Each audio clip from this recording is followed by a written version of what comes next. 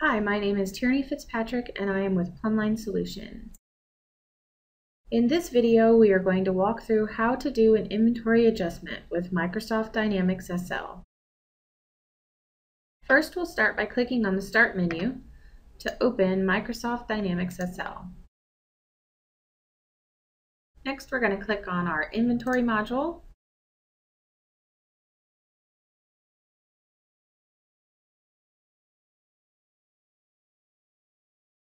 Then we're going to open our inventory items screen. Then we're going to click in our inventory ID and choose F3 on your keyboard to get the drop down of items. I'm just going to choose the very first one here, 0 Arbolt, and click OK. Click on your Quantities tab Make note of the quantities. Currently we have 101 available. Close the window. Next we're going to click on our adjustments screen. Down in the detail area, we're going to click in the adjustment number box. I'm just going to enter the number one tab over to your next block, which is the inventory ID. You can choose F3 on your keyboard for the drop down. I'm going to choose 0R bolt and click OK. Site ID we can keep as default. Warehouse bin location, keep as default. And for our quantity, we're going to put in the adjustment that we want to make. So let's adjust our inventory by 2. So we're going to enter negative 2.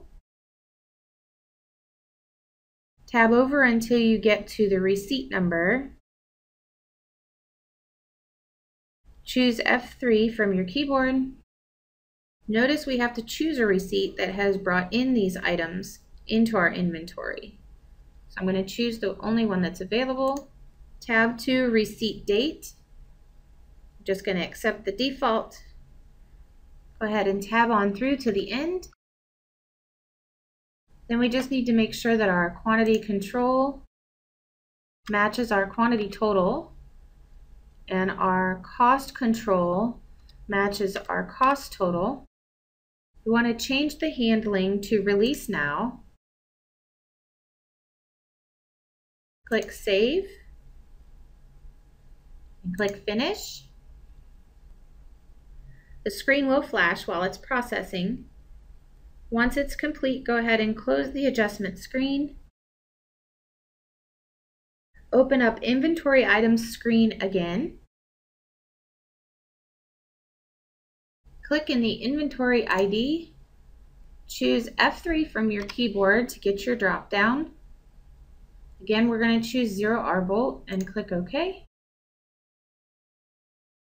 click on your quantities tab, notice that your available quantity has now changed by 2. This concludes the demonstration on how to do an inventory adjustment with Microsoft Dynamics SL. I hope this video was helpful.